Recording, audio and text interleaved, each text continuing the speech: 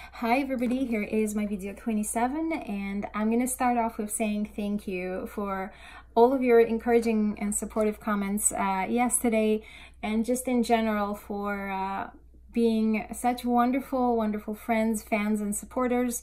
Um, it's really meaningful for me to know that what I do touches your heart and uh, it's, um, it's important to you that you're following my work.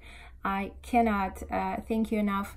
It is the best thing for an artist to know that uh, what they do matters. Um, so thank you again.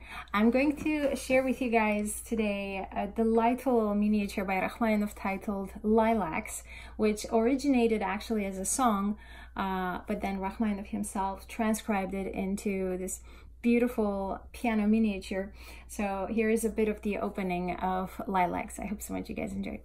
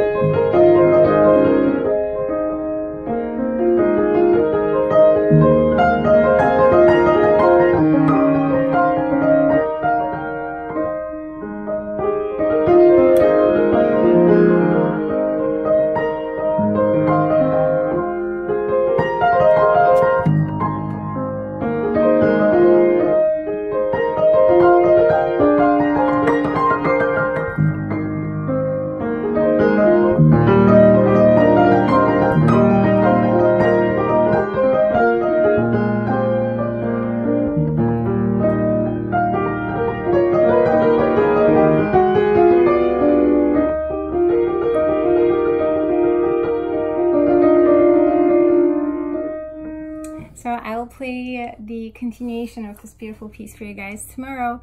And in the meantime, I'm going to share with you a really adorable little secret. I have had, um, I think it's adorable, I don't know.